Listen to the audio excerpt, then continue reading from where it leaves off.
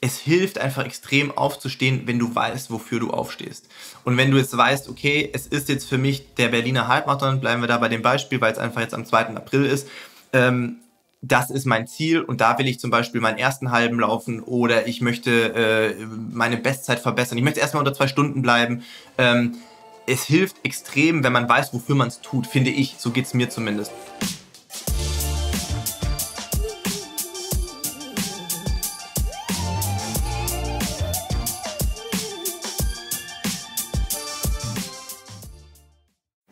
Die Offseason ist offiziell vorbei und die Halbmarathon-Saison hat begonnen. Für viele von uns heißt das, die ersten Wettkämpfe stehen quasi schon vor der Tür. Stellt sich die alles entscheidende Frage, wie legen wir einen erfolgreichen Wiedereinstieg hin und was sollten wir beachten, wenn wir unser Halbmarathon-Training beginnen? Für diese Fragen haben wir einen absoluten Experten am Start, denn er hat schon unzählige Wettkämpfe bestritten und ist unter anderem 2016 auch für Olympia gelaufen. Die Rede ist von Marathon-Star Philipp Flieger. Er spricht mit uns über den Übergang von Off-Season in Wettkampfsaison und gibt seine Top-Tipps zum Besten für einen gelungenen Start ins Halbmarathon-Training. Fahrtenspiele, zwölf Wochenpläne und Tapering-Phase. Um das und vieles mehr geht's diesmal. Ich bin Elliot aus der Redaktion und wünsche euch ganz viel Spaß beim Hören. Hi Philipp, willkommen zurück hier bei unserem Podcast. Ja, Elliot, äh, schön, dass ich zum zweiten Mal bei euch äh, zu Gast sein darf und äh, ja, ich freue mich sehr, wieder hier sein zu dürfen.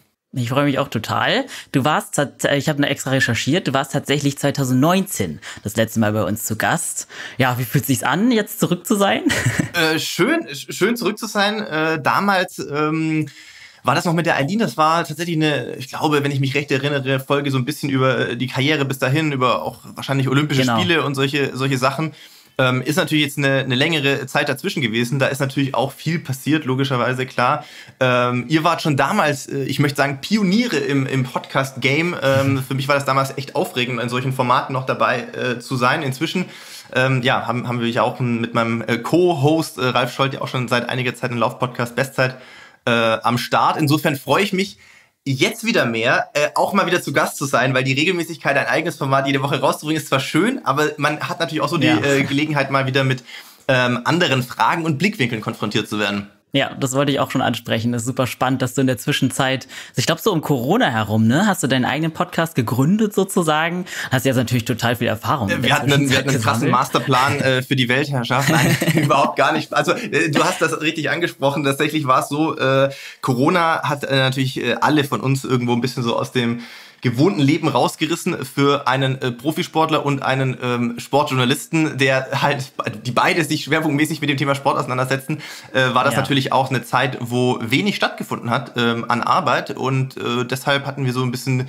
das Feeling, wir, wir probieren da mal was aus ohne irgendeinen Plan. Äh, wir wussten ja auch nicht, ob das irgendwie so harmoniert und ähm, aus irgendeinem unerfindlichen Grund ist äh, plötzlich daraus dann jede Woche eine neue Folge geworden. Also deswegen im Jahr sind wir auch schon bei 142 Folgen und äh, hat auch ja, sehr viel Spaß gesehen. gemacht. Mhm. Also oder macht immer noch sehr viel Spaß, aber es ist natürlich schön, ähm, dass man mit so einem wöchentlichen Format auch äh, in sehr regem Austausch logischerweise mit der Lauf-Community steht. Ja, total cool. Äh, kriegst du das dann locker hin, so neben dem Training und so? Nimmt das nicht so viel Zeit ein? Also, ähm, du wirst das noch besser wissen als ich, weil die Post-Production macht bei uns meistens Ralf, aber alleine redaktionell mhm. so eine Folge vorzubereiten und sich auch entsprechend zu informieren, Gäste zu akquirieren, so eine Folge aufzunehmen, ähm, das ist ja nicht nur damit getan, dass man hier mal auf Start und Stopp drückt, ganz im Gegenteil, das ist schon echt ja. Aufwand.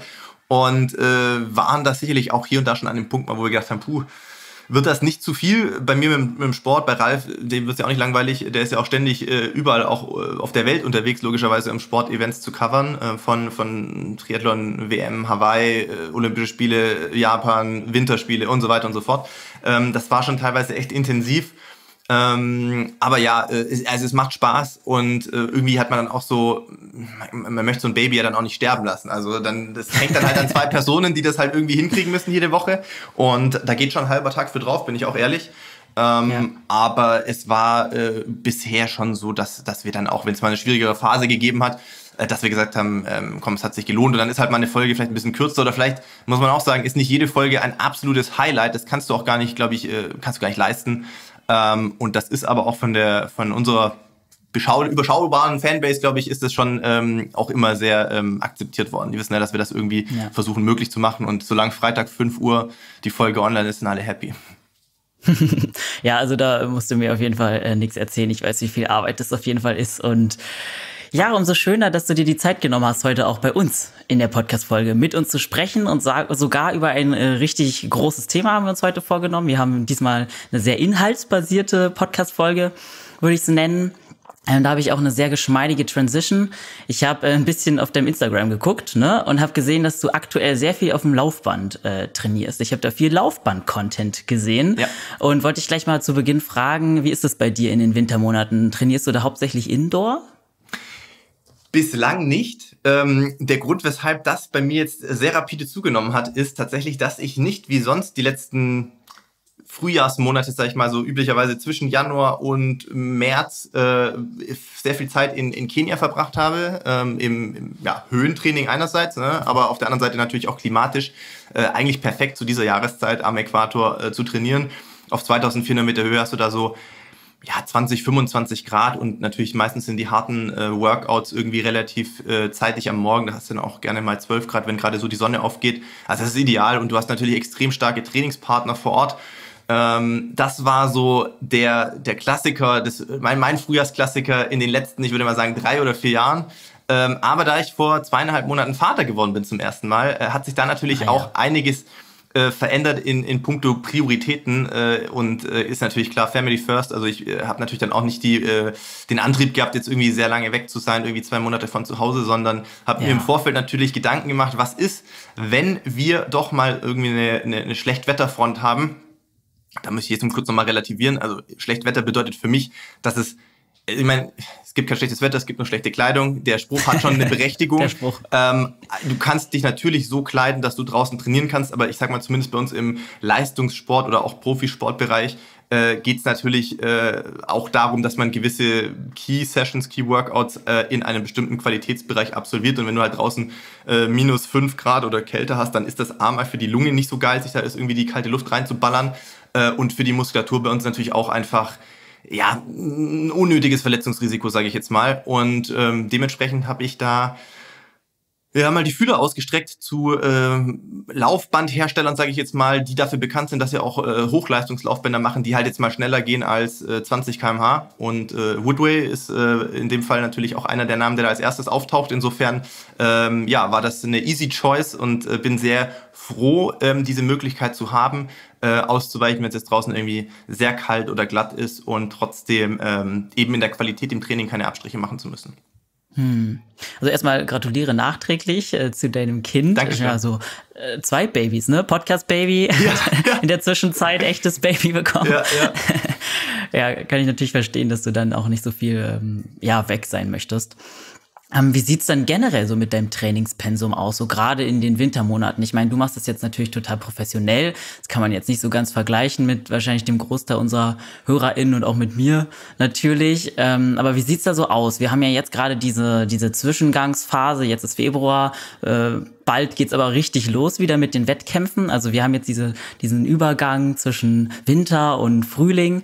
Ähm, ja, aber wie sieht's normalerweise im Winter bei dir aus? Weil da ist ja eigentlich noch bis zu einem gewissen Grad äh, ist ja da ja eigentlich noch Off-Season für dich wahrscheinlich. Ja, das hat sich auch über die Jahre so ein bisschen gewandelt ähm, mit dem Fokus auf die, auf die Straßenlaufsaison. Da muss man natürlich sagen, äh, der Background bei mir, äh, angefangen als Kind klassisch Leichtathletik, Spielspaß, alle Disziplinen, natürlich irgendwo auch relativ schnell rauskristallisiert, andere Disziplinen eher talentfrei, Laufen okay und äh, hatte einfach am Laufen auch äh, irgendwie immer schon am meisten Spaß. Das heißt, man fängt natürlich mit Wettkämpfen logischerweise nicht mit zehn Jahren mit Marathon an, sondern ähm, das hat dann mal mit 1000 Meter Läufen im, im Stadion klassisch angefangen.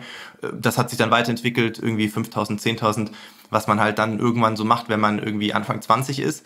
Und da war die Saison, der klassische Saisonverlauf wirklich so, zumindest für uns, ähm, du hast wirklich so eine Grundlagenphase gehabt im Training, also Saisonende, irgendwie Spätsommer, ähm, hast dann irgendwie deine zwei, drei Wochen Off-Season gemacht oder vielleicht sogar vier Wochen, zwei Wochen wirklich mal komplett Urlaub, zwei Wochen irgendwie so ein bisschen äh, semispezifisch antrainieren, vielleicht auch mal was anderes, Radfahren, ähm, vielleicht auch mal, keine Ahnung, äh, Sportarten, für die du sonst jetzt nicht so viel Zeit einplanen kannst. Und äh, dann ging es meistens irgendwie so im Oktober langsam los, dass man einfach in einem, in einem Grundlagenbereich äh, erstmal wieder solide ähm, sich an Belastungs, äh, an Belastungen gewöhnt hat, also sprich erstmal wieder ein regelmäßiges Laufen. Dann hat man peu à peu, ähm, ich sag mal, Kraftausdauereinheiten eben eingebaut, also äh, beispielsweise Tempowechselgeschichten, ohne dass du das jetzt auf einer vermessenen Runde machst, aber ähm, spielerisch, so Fahrtspiel nennt man das, äh, mhm. vielleicht Minutenläufe oder sowas in einem hügeligen Gelände, ähm, Bergsprints und solche Sachen, ähm, um, um laufspezifische Kraft äh, irgendwie langsam aufzubauen. Und das ist im Frühjahr dann meistens so der, der Switch so ein bisschen gewesen. Also wir haben meistens Ende des äh, Frühjahrs gerne so ein paar Outdoor-Rennen gemacht, Crossläufe nennt man das, ähm, die auch echt viel abverlangen, auch me mentale Toughness, sage ich jetzt mal, mhm. ähm, wo aber eben genau diese, diese ähm, Werte, auch Kraftausdauer und so gefordert sind. Und dann, klar, Richtung Sommersaison, Saisonhöhepunkt, ging es meistens dann natürlich darum, Wettkampfgeschwindigkeiten zu trainieren oder natürlich auch idealerweise Geschwindigkeiten, ähm, an sich Geschwindigkeiten zu gewöhnen, die schneller sind als das, was du laufen möchtest. Anders ist natürlich so ein bisschen der, der Zyklus für Straßenläufe. Äh, Straßenlaufsaison ist eben natürlich klassischerweise nicht im Sommer, sondern ist eben meistens im Frühjahr, ich sag mal so hm, März, April. Ähm, und äh, dann im Herbst so beginnt klassischerweise mit dem Berlin-Marathon Ende September und geht bis Anfang November äh, mit dem New York Marathon. Das sind so die, die, die vier, fünf, sechs, sieben Wochen äh, Enden eigentlich, wo du, wo du diese großen ähm, Halbmarathons und, und Marathons hast. Und da würde ich schon sagen, also ganz anders wie, wie der Werdegang äh, von früher ist es nicht geworden. Meistens nach dem Marathon im Herbst ähm, hat man oder habe ich auch mir meistens eine längere Auszeit gegönnt ich muss sagen, äh, für diejenigen, die jetzt nicht wissen, wie alt ich bin, ich werde dieses Jahr 36. Also ich bin für Lauf Deutschland in dem, äh, sagen wir mal, leistungssportorientierten Umfeld, was ich da mache, schon eher der Laufoper, muss man sagen. Da gibt es, glaube ich, jetzt Aber aktuell... siehst noch jünger aus, auf jeden Fall. Dankeschön. Ja, laufen halt jung. das stimmt. Aber äh, ich sag mal so, äh, was, was die meisten Leute ja nicht sehen, ist, wie ich morgens aufstehe. Das, das ist nicht mehr ganz so schwungvoll, nicht mehr ganz so schwungvoll wie Mitte 20, das muss ich leider zugeben. Ähm, aber ich glaube, dass mir wirklich viel geholfen hat, ähm, Pausen zu nehmen. Äh, das ist auch ein Learning gewesen, das hat mich, hat mich Jahre gekostet, weil in den jungen Jahren mit Anfang, Mitte 20 bist du einfach so ehrgeizig, dass es auch extrem schwer ist, auf den zu, also auch fundierten Rat von außen manchmal zu hören, sprich Coach oder, oder andere Arten von Mentoren, die einfach schon Ahnung haben, ähm, die hier und da auch mal sagen, hey, halt mal den Ball ein bisschen flacher, hier nimm mal einen Off-Day oder nimm dir da mal zwei Wochen äh, Urlaub in der Saisonpause und mach wirklich mal gar nichts, statt immer weiter zu trainieren. Ähm, das hat leider, äh, wie das halt so ist in so Sturm- und Drangzeiten, immer mit dem Kopf durch die Wand, äh, bis man halt irgendwann feststellt, die Wand ist doch meistens härter. Und äh, hat mhm. sicherlich auch in jungen Jahren viele Verletzungen äh, unnötigerweise bei mir äh, ergeben. Ähm, auch OPs, die dann teilweise die Folge waren. Ja, Leistungssport ist leider kein Gesundheitssport und das muss man auch immer mal wieder betonen. Also da, da muss man, glaube ich, eine klare Trennlinie ziehen. Ich würde das jetzt auch auf jeden Fall, was wir jetzt so machen, nicht uneingeschränkt weiterempfehlen. Ähm, ja. Und ähm, es ist so, dass ich irgendwann gelernt habe, dass es, es ist, du musst auch im Leistungssport eine, eine Balance finden zwischen Belastung und Entlastung. Und wenn wir sagen, wir bereiten eine, ein Frühjahrshighlight vor, nehmen wir einen Halbmarathon oder von mir aus dann vielleicht noch als weit für diejenigen, die vielleicht schon länger laufen, die sagen, hey, ich laufe den Berliner Halbmarathon Anfang April, der passt super und dann laufe ich zum Beispiel Hamburg oder so, das ist so ein Klassiker drei Wochen später ähm, dann ist es wirklich auch mal angeraten, irgendwie sich vier Wochen eine Auszeit zu gönnen, wo man wirklich andere Sportarten macht oder auch mal gar nichts. Einfach um den Bewegungsapparat auch ein bisschen zu entlasten. Und ich glaube, dass ich heute noch Leistungssport ähm, auf dem Level so betreiben kann, wie ich es derzeit tue, liegt daran, dass ich das irgendwann begriffen habe und mir wirklich auch diese Zeiten nehme. Ähm, die Angst, die oft mitschwingt, ist ja, man verliert alles, was man jemals trainiert hat, wenn man mal Richtig. zwei Wochen nicht trainiert. Und da kann ich auch beruhigen, ähm, ich mache das seit ich irgendwie, ja gut, da war es noch kein Leistungssport. Aber ich habe Leichtathletik angefangen mit so sechs, sieben Jahren, so der Klassiker, ja. Fußball gespielt, gemerkt, kein Talent, irgendwie Leichtathletik gekommen und dann das natürlich langsam aufgebaut, sagen wir mal, seit ich 18, 19 bin, wirklich auf Leistungssportniveau. Ähm, das sind jetzt ja dann auch schon 17, 18 Jahre. Und, ähm, und es geht nicht, dass du immer durchziehst, immer Max machst. also das funktioniert nicht. Das ist dann irgendwann auch Raubbau am eigenen äh, Körper. Und äh, ganz im Gegenteil, wenn du dir mal so eine Pause gönnst und der Körper auch die Gelegenheit hat, sich komplett zu resetten, also kleine Wehwehchen auszukurieren, die vielleicht mal irgendwann entstanden sind, Schienbeinkantensyndrom, whatever, so die üblichen Sachen.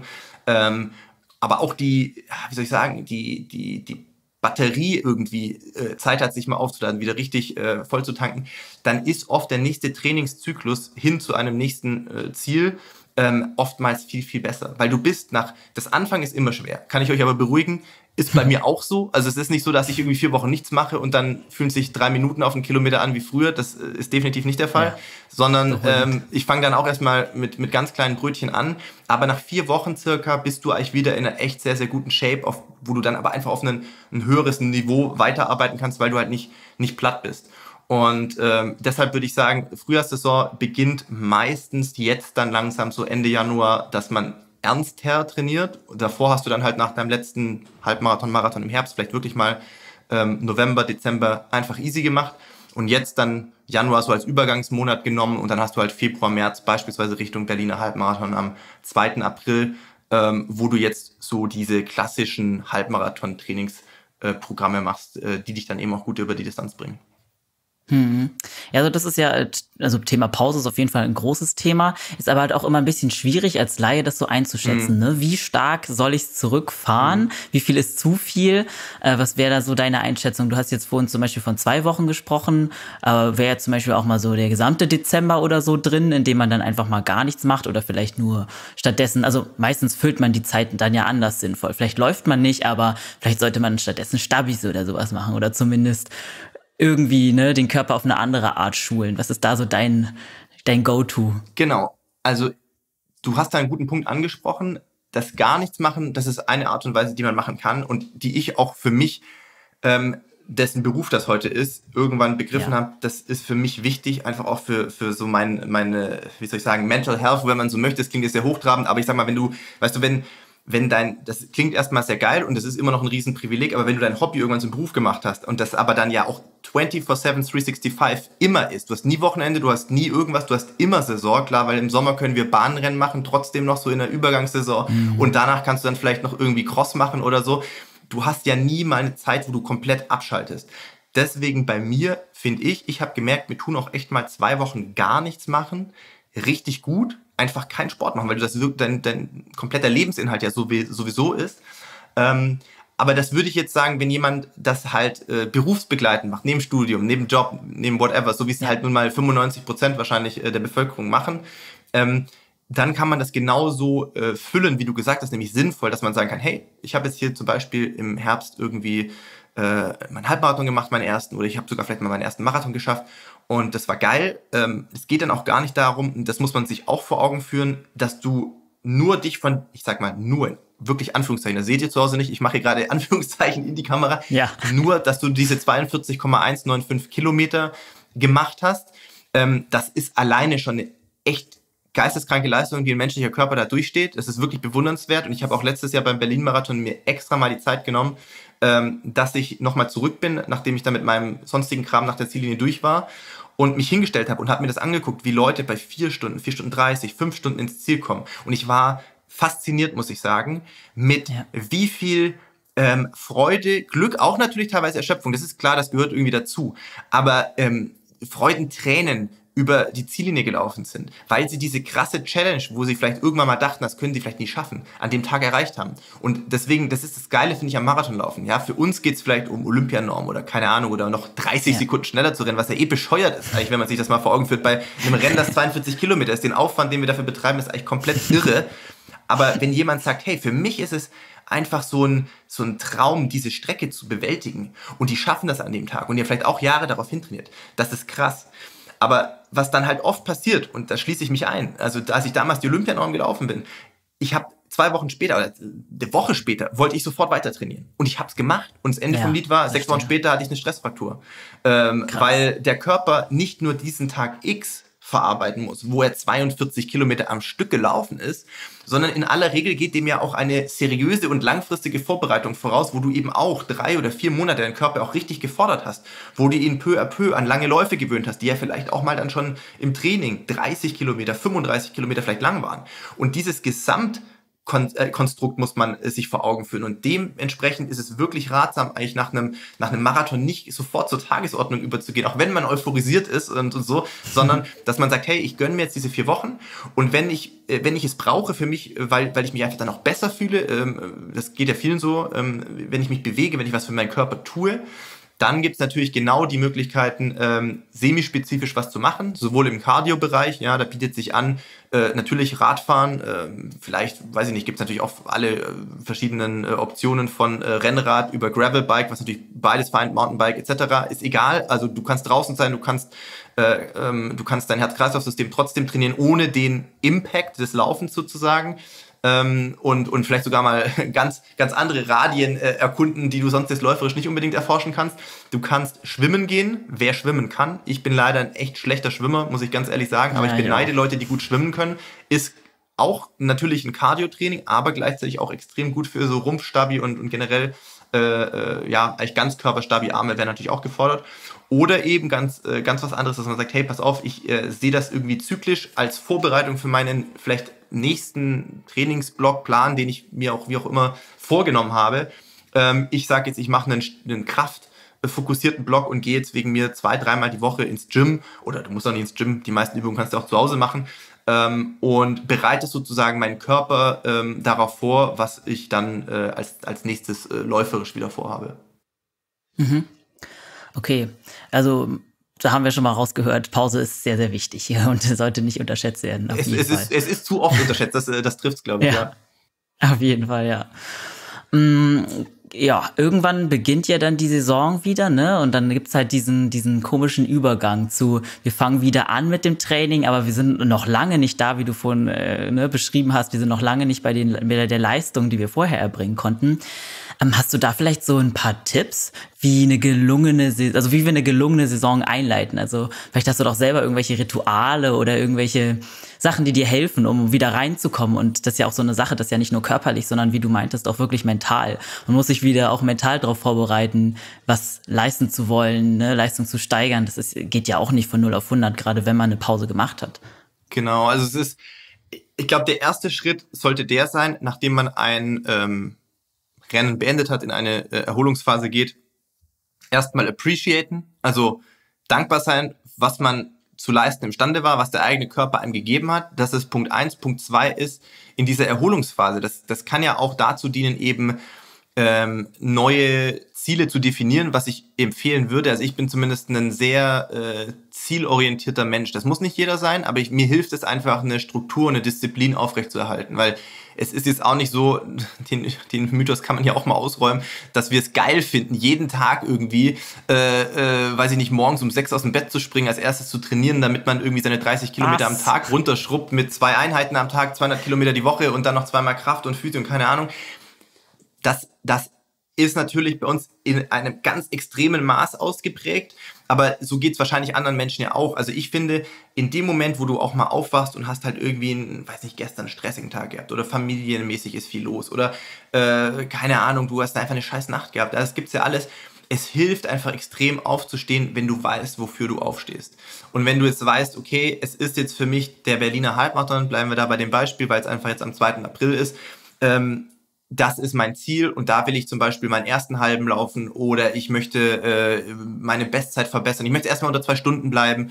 Ähm, es hilft extrem, wenn man weiß, wofür man es tut, finde ich. So geht es mir zumindest. Und der Einstieg ist natürlich so, ähm, da muss man sich, äh, darf man sich nicht verrückt machen lassen die ersten zwei, drei Wochen, wenn man davor zum Beispiel eine Phase hatte, wo man einfach äh, alternativ trainiert hat, die werden jetzt nicht ganz fluffig sein. Ich würde jetzt auch nicht sagen, wenn, wenn man sonst äh, üblicherweise, hm, weiß ich nicht, drei oder viermal in der Woche schafft, laufen zu gehen, dann würde ich jetzt auch nicht sagen, dass in der allerersten Woche sofort wieder viermal gelaufen werden sollte, ja. sondern ähm, ich würde sagen, wir fangen dann vielleicht mal an mit der Hälfte, also sprich, du machst irgendwie genau. zweimal äh, zwei Laufeinheiten in der Woche, tastest dich da vorsichtig ran, auch nicht gleich all in Speed und auch nicht gleich irgendwie 30 Kilometer, sondern einfach normale, normale Läufe einfach, so was halt für euch normal ist. Ne? Also 8 mm, Kilometer, 10 Kilometer, 12 Kilometer, ja. zweimal die Woche und die anderen zwei Einheiten, wenn man die dann schon machen möchte, die können ja ruhig noch, noch eine auf dem Rad sein und eine im Gym oder zwei auf dem Rad oder so. So hast du trotzdem schon mal mental diesen Rhythmus wieder von, ich trainiere viermal die Woche und ähm, hast aber noch nicht gleich diesen vollen, ähm, die volle Belastung für Muskel, Sehnen, Bänder, äh, die dann einfach auch ein bisschen Zeit haben, sich anzupassen. Und da würde ich sagen, das sollte man vielleicht, ja, Körpergefühl ist wichtig. Ne? Ich rede jetzt schlau ja. daher, aber ich habe es auch oft genug Jahre lang selbst ignoriert und immer so, ja, das ist nur ein bisschen Muskelkater, da kann man drüber trainieren. Und irgendwann ist dann doch mal was kaputt gegangen. Mhm. Ähm, also Körpergefühl ist wirklich ein extrem unterschätzter Gradmesser. Das, das ist nicht, geht nicht nur ums eigene Wohlbefinden, sondern es sagt ja auch oft, was der Körper gerade möchte oder eher nicht so möchte, sage ich jetzt mal. Und ähm, wenn man jetzt irgendwie den, den, den Wadenmuskelkater des Todes hat, dann würde ich es nicht empfehlen, irgendwie einen Tag später irgendwie Bergsprints oder irgendein Tempoprogramm oder irgendwie sonst was zu machen, sondern dann sollte man da vielleicht gucken, dass man was Entspanntes macht ähm, und, und ein bisschen Pause ranlässt. Äh, wenn man das hat, gibt es ja genügend so Foam-Rolling-Sachen zu Hause, äh, wo man auch selber sich ein bisschen schon massieren kann. Äh, müssen jetzt nicht die, die sündhaft teuren Recovery-Pants sein, ähm, die wir jetzt haben oder wir, klar, wir können auch zum Physio rennen, aber äh, es gibt auch einfachere Mittel, die wesentlich äh, kostengünstiger sind, die man vielleicht auch zu Hause hat, um sich selber ein bisschen zu behandeln. Heißes Bad, wer eine Badewanne hat, hilft auch oft schon Wunder, ja. mir zumindestens was ähm, das Senken des Muskeltonuses anbelangt. Und wenn du, sagen wir mal, nach zwei, drei Wochen das Gefühl hast, so muskulär, läuferisch, du bist wieder so drin, es fühlt sich normal an, dann denke ich mal, ist es äh, vollkommen legitim, vier, viermal die Woche wieder zu laufen. Auch dann noch keine crazy Long Runs oder, oder Tempo-Einheiten.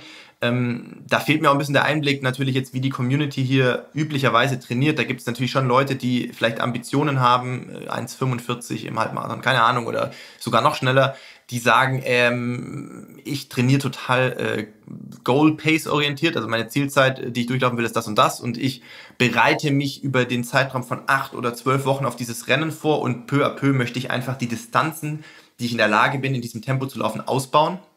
Ist ein legitimer Weg, so ähnlich trainieren wir im Marathon natürlich auch.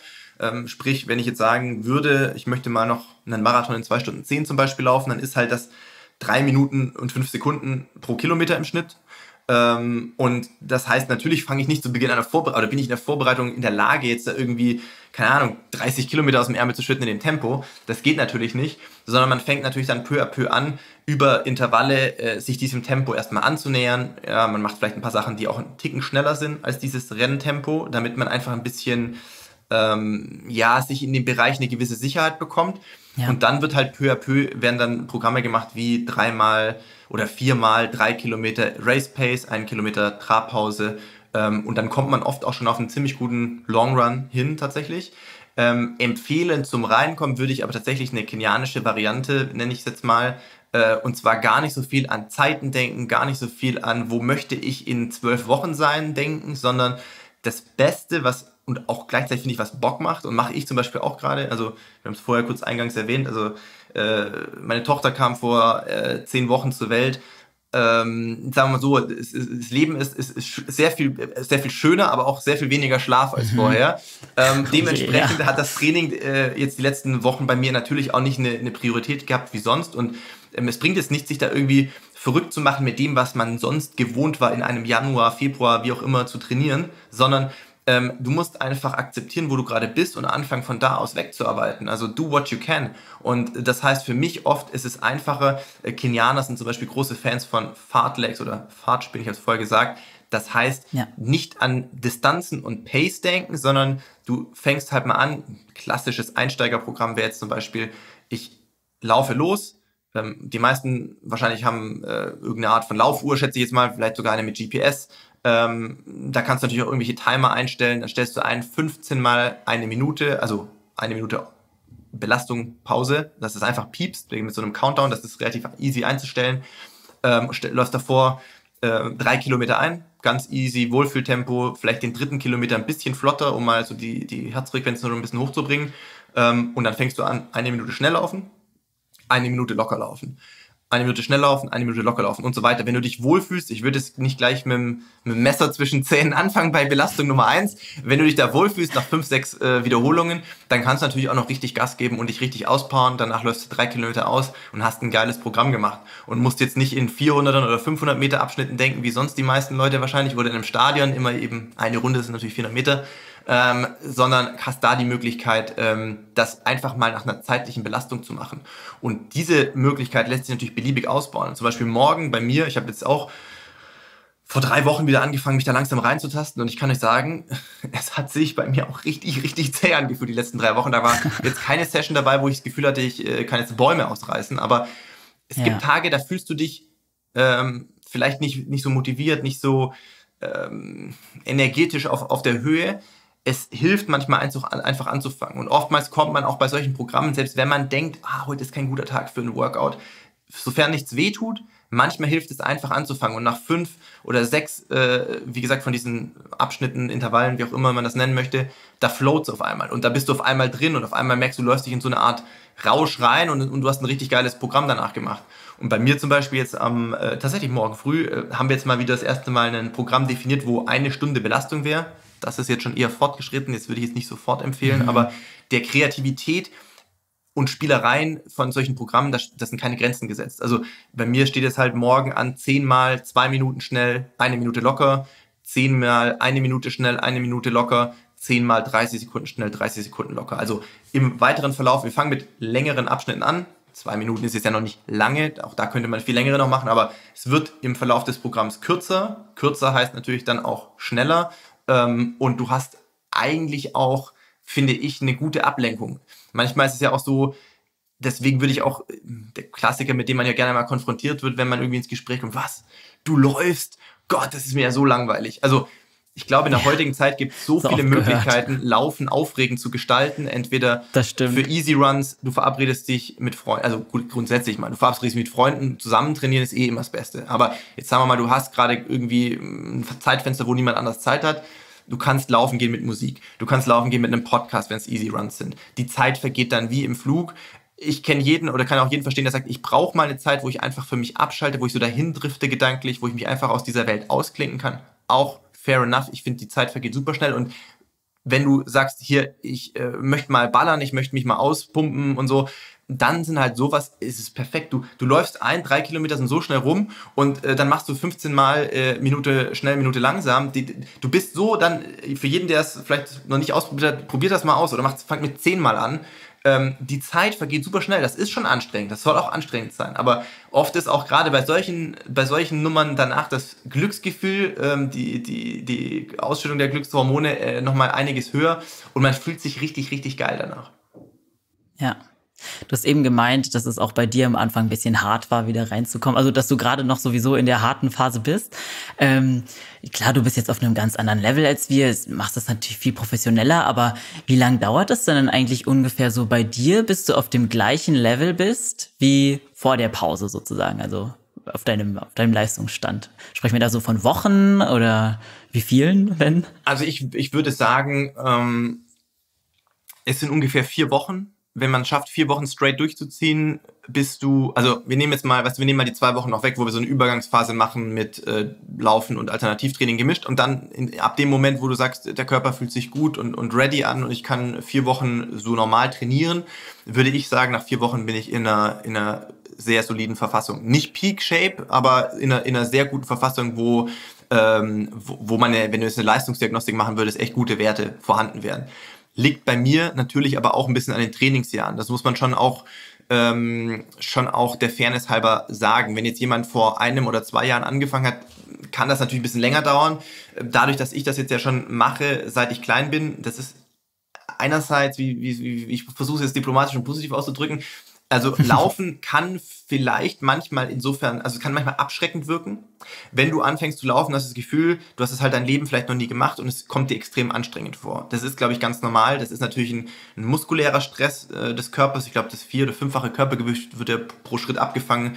Ähm, wenn das Herz-Kreislauf-System, also Herz-Lunge, nicht, äh, nicht darauf vorbereitet ist, ist es natürlich einfach eine krasse Schinderei. Da sind wir wirklich ehrlich. Aber ähm, das Geile am Laufen ist halt trotzdem auch, es ist, äh, es ist so eine ähm, Blue-Collar, äh, ein Blue-Collar-Sport, sprich, es ist eine Arbeiterdisziplin. Ja? Also wer diszipliniert und fleißig trainiert, und ich rede jetzt nicht davon, dass du in einer Woche siebenmal laufen musst, sondern wenn du es schaffst, dreimal ja. die Woche zu laufen oder sowas oder, oder viermal und das halt aber einfach vor allem in einer, in einer Konsequenz und Konsistenz über Jahre, kann man Dinge sich erarbeiten, die man zu Beginn dieser Reise sich niemals hat vorstellen können.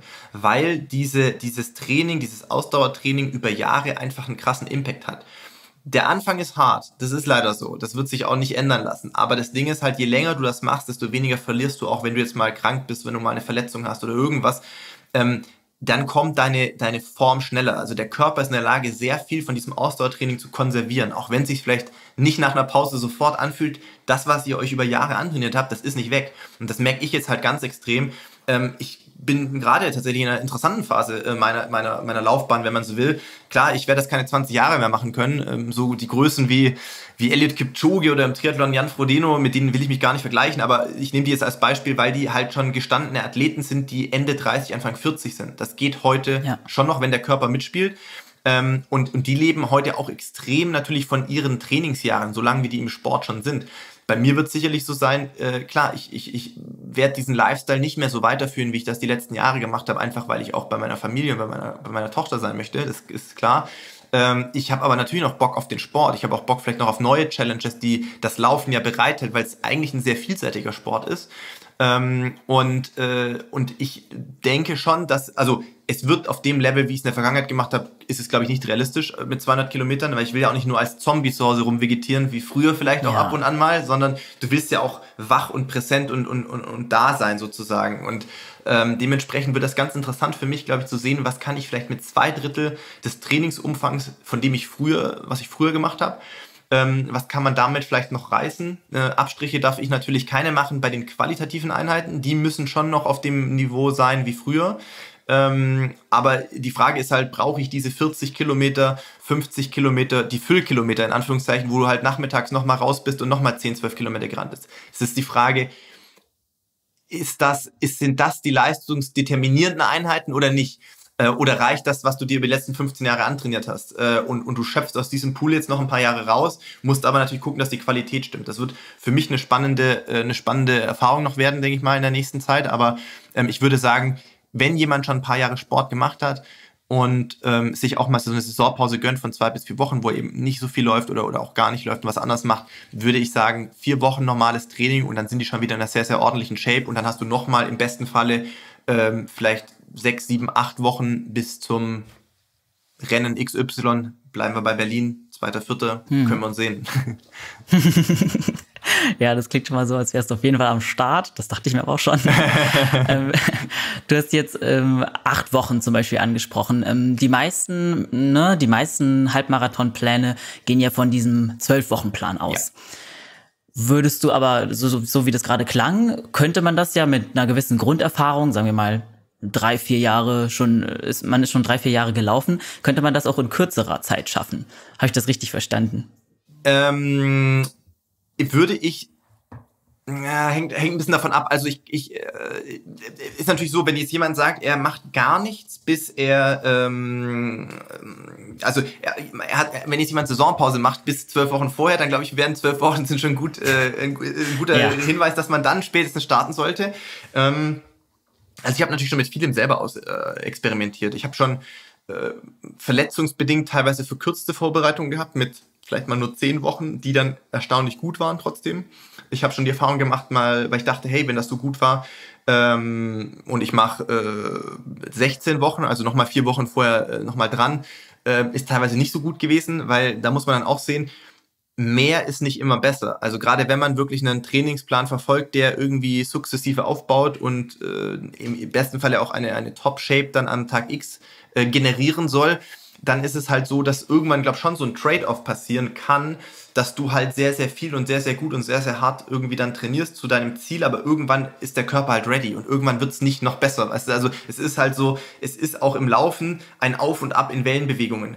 Äh, ich würde es so beschreiben, also du kannst jetzt natürlich, sagen wir mal, du bleiben wir beim Frühjahr, du machst jetzt irgendwie deine zwölf Wochen bis Berlin, dann würde ich aber dringend empfehlen, dass man sich so eine Auszeit eben gönnt, weil dann hat der Körper die Zeit, sich zu erholen, erholt sich, Prinzip der Superkompensation, natürlich auf ein höheres Niveau, als er vorher war, von dem du dann mhm. die nächste Vorbereitung anfangen kannst, zum Beispiel dann Richtung Berlin-Marathon ähm, und, äh, und, und fängst halt auf einem höheren Plateau schon an, wieder diese zwölf Wochen zu machen. Aber es geht nicht linear. Es ist nicht so, dass du einfach, wenn du sagst, ich mache jetzt 24 Wochen, ähm, dass du dann zwangsläufig mit einem besseren Ergebnis rechnen kannst, sage ich jetzt ja. mal. Kann sein. Ich glaube, gerade bei, bei jemandem, der neu im Sport ist, äh, der vielleicht erst vor kurzem das Laufen begonnen hat, da muss man das einfach ein bisschen anders betrachten, weil da geht es erstmal darum, den Körper generell an Laufen zu gewöhnen und generell irgendwann ähm, da geht es jetzt nicht um irgendwelche Tempoprogramme, sondern da geht es darum, äh, ich gewöhne meinen Körper sukzessive an regelmäßiges Laufen und dann irgendwann auch an längeres Laufen, sodass ich irgendwie mal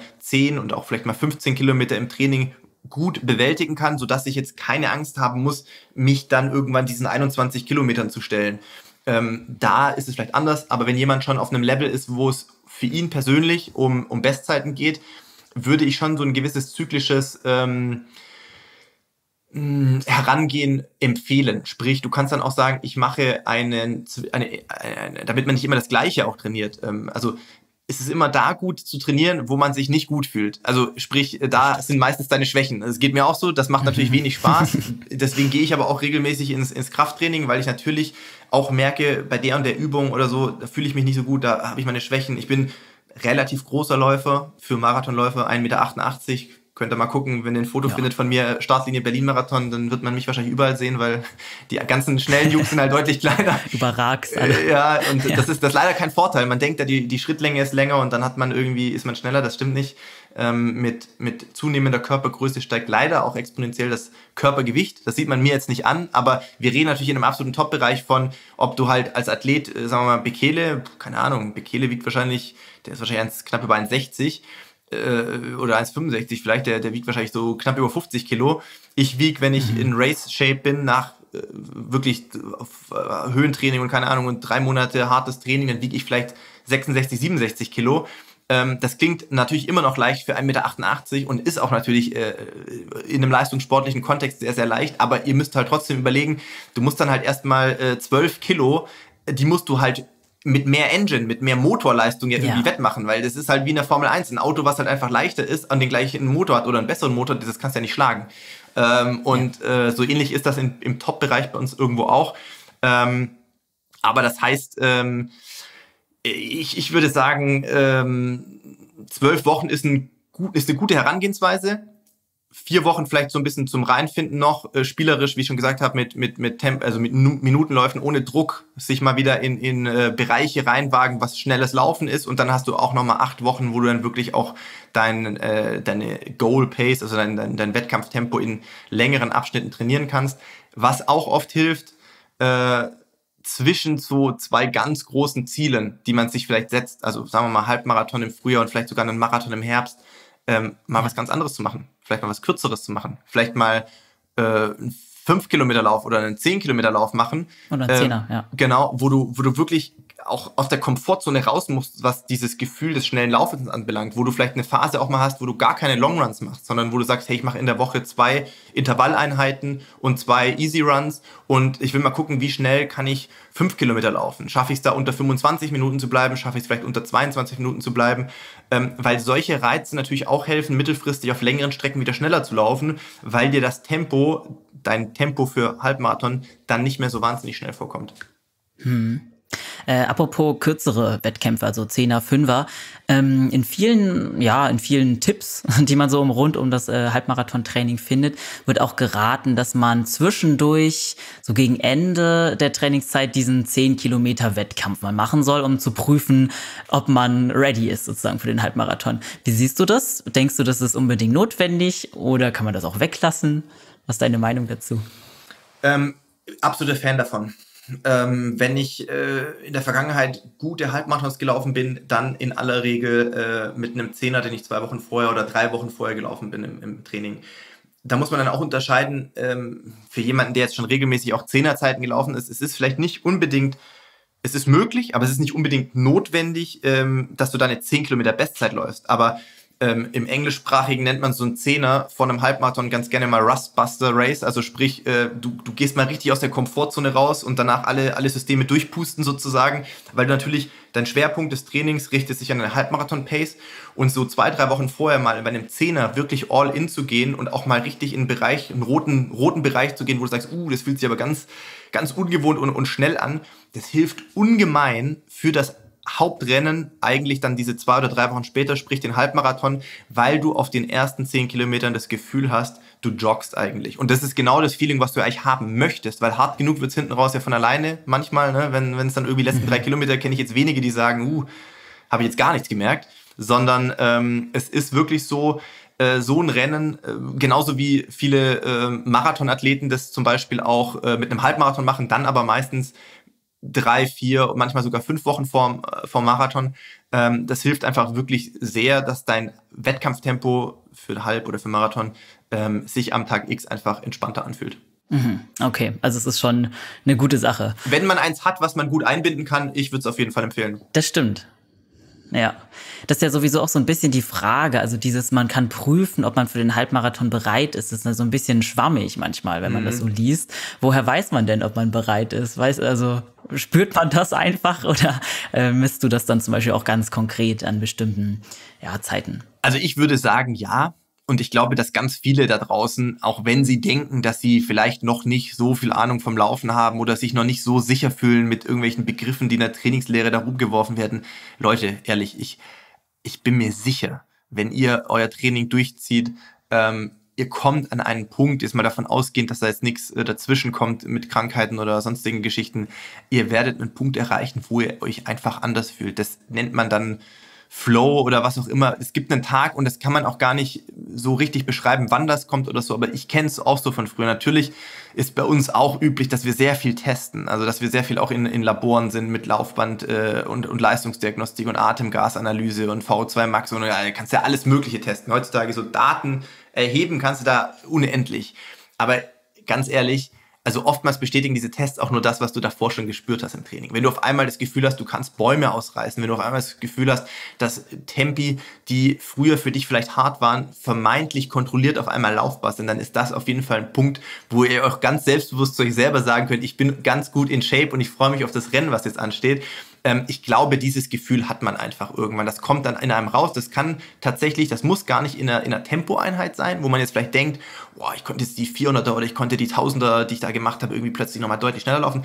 Es ist manchmal auch wirklich bei den lockeren Läufen, wo du dann denkst, ähm, keine Ahnung, ich weiß nicht, ob, äh, ob hier alle nach Herzfrequenz laufen oder nicht. Also ich meine, ich habe bei mir meine Polar eigentlich äh, immer um, äh, einfach um auch zu gucken, wie sind meine Pulswerte bei einem lockeren Lauf. Also ähm, damit kann man natürlich auch ein bisschen abfedern, ähm, dass man in Übertraining abrutscht. Aber ich sag mal, wenn du auf einmal fünf Schläge niedrigere Herzfrequenz hast, äh, wie sonst, auch bei einem lockeren Tempo, dann ist das ja schon ein Indikator in der Regel dafür, dass du sehr, sehr fit und austrainiert bist. Und, ähm, und das deckt aber meistens auch das eigene Körpergefühl. Also das muss man dann auch zulassen, beziehungsweise äh, man darf sich dann auch freuen, dass man diesen Status äh, erreicht hat, weil den hat man sich auch selber hart erarbeitet.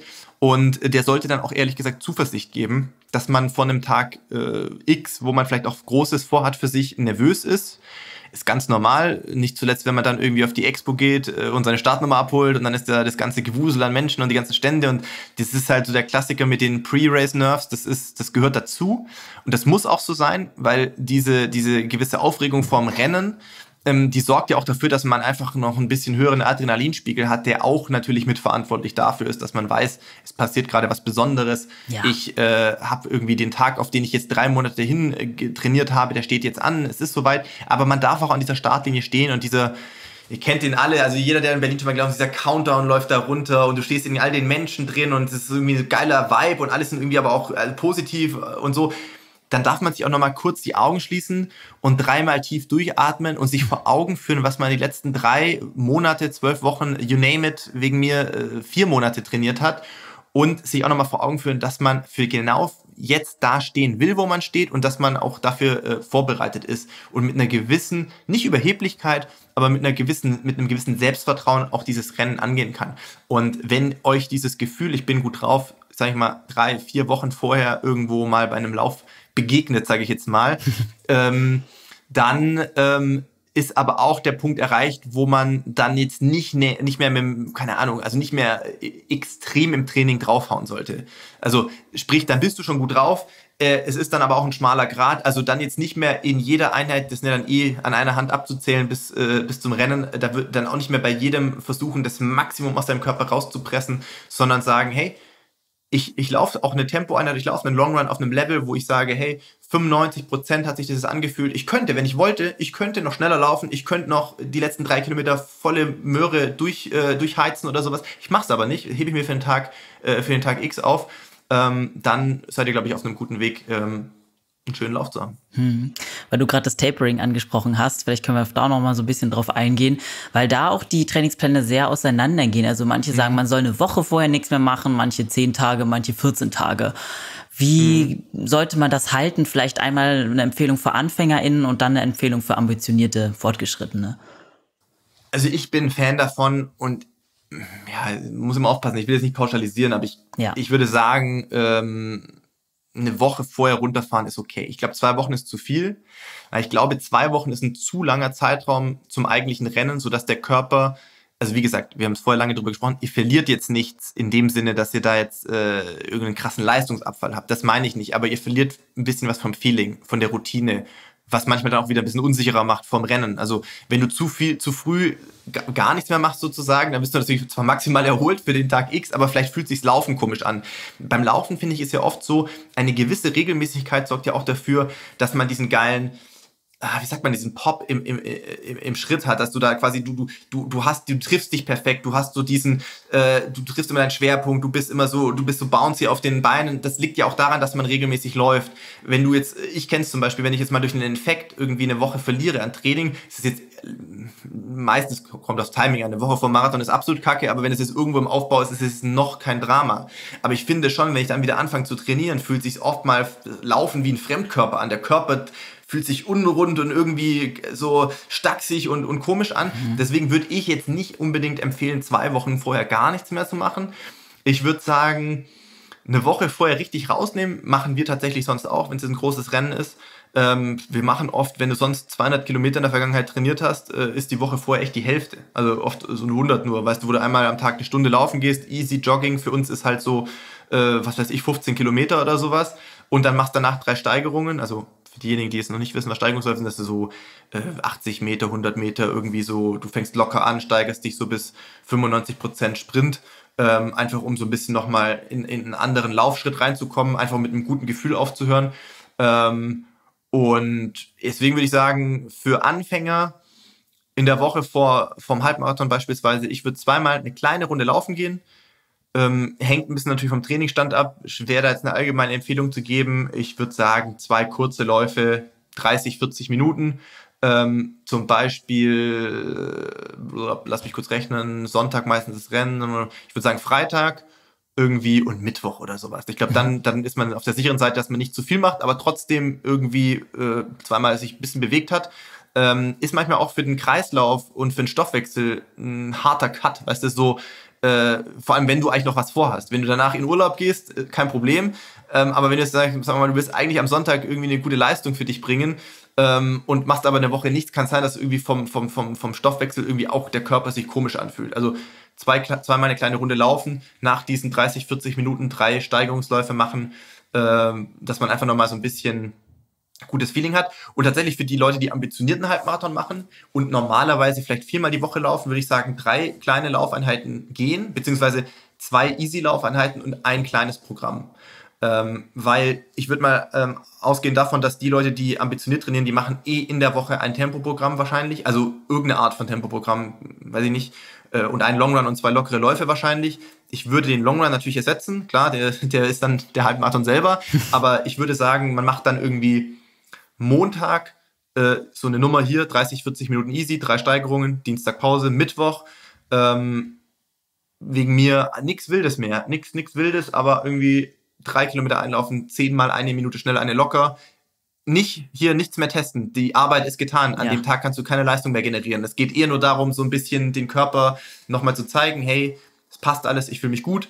Ähm, schnelles Laufen fühlt sich okay an, es fühlt sich kontrolliert an. Drei Kilometer auslaufen, hast du vielleicht zehn Kilometer in, in, in Summe oder keine Ahnung, so um den Dreh wahrscheinlich dann. Und äh, Donnerstag Pause, Freitag, wie gesagt, 30, 40 Minuten, drei Steigerungen, Samstag Pause, Sonntag Race. Ja. Und äh, kannst dann auch Samstag entspannt deine Startnummer abholen, hast keinen Stress.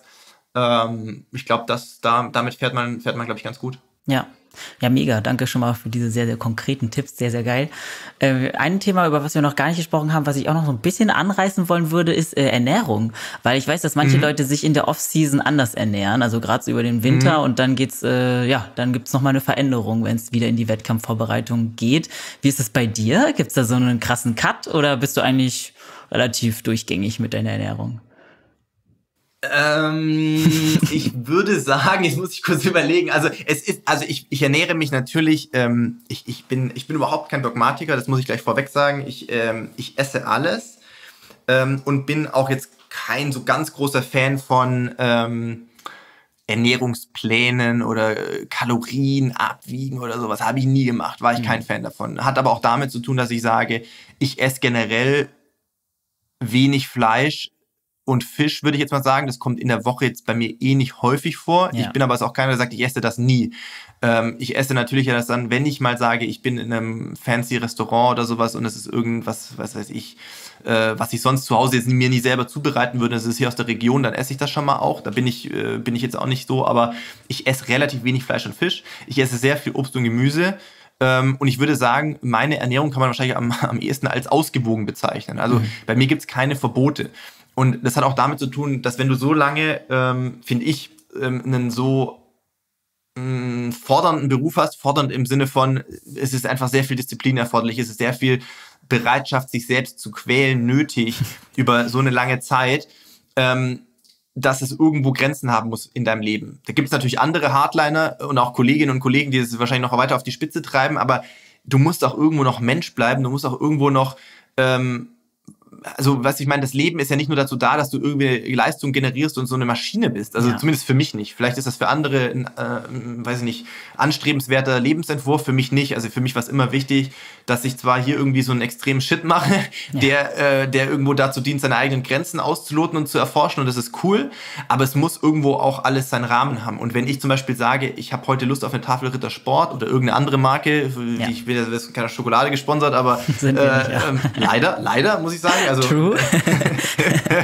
ähm, dann, dann esse ich die einfach, weil ganz ehrlich, wenn ich äh, normales Trainingspensum habe, verbrauche ich am Tag 4000, 4500 Kilokalorien Crazy. und dann ist so eine 500 äh, oder 600 Kilokalorien Schokolade, Nix, äh, ja. das ist einfach nichts, das verpufft einfach. Ja. Und dann sehe ich auch nicht ein, warum ich die nicht essen sollte. Weißt du, wie ich meine? Also bevor ich dann irgendwie eine Woche mit schlechter Laune rumlaufe, weil ich mir jetzt selber nicht erlaube, eine Tafel Schokolade zu essen, das ist ja wohl ein Witz. Genauso ähm, mit, mit ähm, weiß ich nicht, äh, wenn ich mal ein Glas Wein trinke, weißt du was ich, wir sind es mal irgendwie abends mit Freunden essen oder so und du bist bei einem, in einem guten Restaurant und, und irgendwie ist eine lustige Runde oder du, es gibt ein, ein Essen, wo es gut dazu passt. Warum? Also das habe ich nie verstanden. Also ich glaube, so, ich finde eine gewisse, wie ich es eingangs ja mal erwähnt hatte, kurz, eine Balance ist, glaube ich, wichtig, um auch so mentally sane zu bleiben. Einfach. Ja. Weißt du, dass du das nicht so komplett, äh, so ein kompletter Freak wirst, zumindest für mich. Und ähm, ich, ich, ich fand es für mich so immer ganz gut.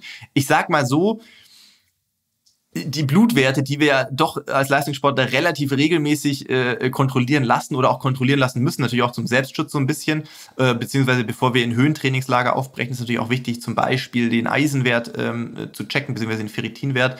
Ähm, sonst, ja, wenn du kein, keine, keine Möglichkeit hast, rote Blutkörperchen zu bilden, genau. weil du genau. da einen Mangel hast, dann brauchst du nicht in die Höhe fahren. Ganz im Gegenteil, ja. dann trainierst du dich da in Grund und Boden. Ähm, das heißt, ich sage mal, auf Basis dieser Werte, die ich kenne, scheint die Art und Weise, wie ich es in den vergangenen 15 Jahren gemacht habe, nicht so schlecht zu sein, weil da ist halt alles irgendwo in dem grünen Bereich, äh, so wie es halt sein soll, trotz der hohen Beanspruchung. Ähm, klar, gibt natürlich auch irgendwelche anderen Auswüchse, wenn jetzt jemand meint, er, äh, es macht ihn so viel besser, wenn er jede Kalorie noch dreimal zählt, dann sage ich fair enough, aber das ist nicht mein Sport auf jeden Fall. Also so will ich ihn auf jeden Fall nicht machen. Ja, verstehe ich. Also Balance ist key, wie so oft. Für ja. mich auf jeden Fall und ich würde ich auch so uneingeschränkt weiterempfehlen, mhm. ja. Also machst du eigentlich keine großen Unterschiede? Habe ich jetzt so ein bisschen so rausgehört. Naja, kann schon sein. Also ich sag mal jetzt ganz ehrlich, so Weihnachten und so, ähm, Weihnachten und, und die Zeit, äh, gute, dann war eh sehr viel Freunde, Family und so, ja. wie gesagt, Geburt der Tochter November und so dann trinke ich auch mal im Verhältnis mehr Alkohol, als ich ja. sonst in der Saison trinken würde, weil du einfach viel mit Familie bist und ich bin, ich wohne nicht da, wo meine Familie, oder ich komme ursprünglich aus der Stuttgarter Gegend, ähm, ich wohne seit, äh, seit 2007 in Regensburg, das ist so die Gegend, wo meine Frau herkommt. Ich bin jetzt auch leider nicht mehr so oft zu Hause, das heißt, wenn man dann mal eine Woche zu Hause ist, dann hast du einfach auch viele Freunde und, und, und Family-Besuche und sowas und dann ist das ja meistens mit irgendwie einem schönen Essen und einer guten Zeit verbunden und dann dann ist das auch okay, glaube ich, wenn man da mal, äh, äh, oder für mich ist es zumindest okay, äh, wenn man da dann vielleicht auch äh, verhältnismäßig mehr Alkohol äh, konsumiert, als man das sonst wahrscheinlich als Sportler tut. Aber ähm, wie, wie gesagt, äh, es ist alles eine Sache der Balance. Äh, natürlich ist während der Saison, während äh, wir uns auf große Ziele vorbereiten, mehr oder weniger kein Alkohol äh, logischerweise ähm, regelmäßig ja. da, weil klar, hemmt natürlich die, die Regeneration. Das ist auch kein Geheimnis. Ähm, aber ich so richtige Exzesse bezüglich Essen oder Junkfood oder sowas, äh, das habe ich tatsächlich nicht. Okay. Alles klar. Also, wie gesagt, Balance is key. Das ist, glaube ich, was, was wir uns alle vornehmen können und irgendwie äh, auf die Nase schreiben können. Richtig, mm, richtig, richtig. Ja, wir haben jetzt schon super viele Tipps von dir gehört. Vielleicht können wir, wir haben auch schon rausgehört, du wirst beim Berlin-Halbmarathon am Start sein.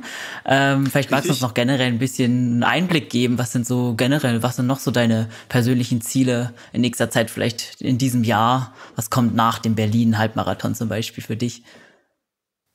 Ja, also ich äh, bin natürlich als äh, Mitglied des Marathon-Team Berlins ähm, immer sehr bemüht, äh, so viele Rennen wie möglich in Berlin zu machen. Das ist ganz klar. Also ich äh, würde jetzt mal mich weit aus dem Fenster lehnen.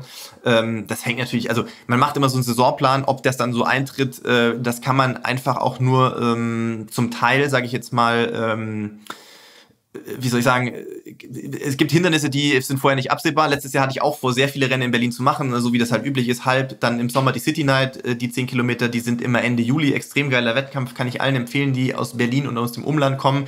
Ähm, also wann hat man die Gelegenheit, äh, sonst auch mal im Hochsommer auf dem Kudamm zu laufen, ist auch immer geile Stimmung und Bands etc. an der Strecke.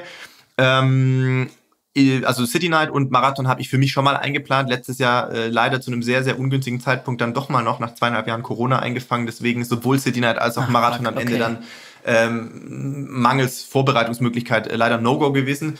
Äh, habe ja. zumindest mal noch einen Teamkollegen pacen können äh, beim Marathon. So konnte ich ein bisschen Wettkampfatmosphäre in Berlin schnuppern. Aber genau, für mich eigentlich schon der Plan, Halbmarathon, 10 Kilometer im Sommer und den Marathon.